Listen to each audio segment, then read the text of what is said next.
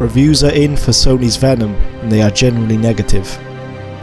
As of writing, it holds a 33 on Metacritic based on 15 reviews, while on Rotten Tomatoes it holds a 26% from 34 reviews, with an average rating of 4.4 out of 10. Common critiques are the poor script, inconsistent tone, messy and boring plot, with some mentions that the lack of an R rating and absence of Spider-Man hurt the film.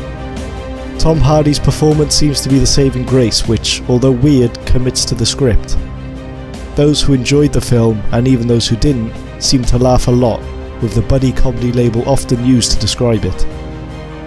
If you don't go in expecting much, you might find entertainment in what appears to be a poorly made film.